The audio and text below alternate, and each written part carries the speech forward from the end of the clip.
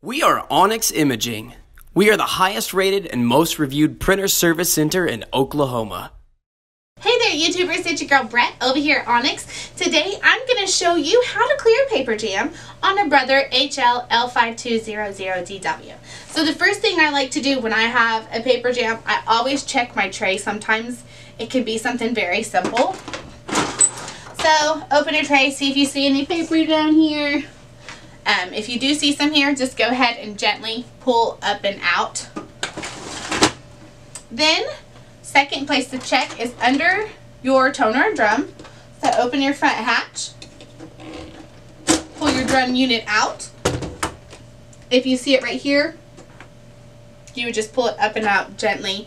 Um, you never want to yank or pull really hard on the paper because then you can break some pieces off in there or possibly damage a sensor causing more jams and more damage to your printer.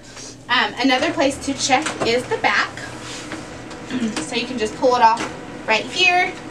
You'll see the paper right here. Just pull it up and out. Um, try to follow your paper pass and just make sure not to yank or anything like that. Pull slow and gentle. Um, if you guys are having lots of paper jams, it's probably time to bring your printer in for service. If you guys are in need of supplies or quotes, give your girl Brett a call and have a great day. We are Onyx Imaging. We are the highest rated and most reviewed printer service center in Oklahoma.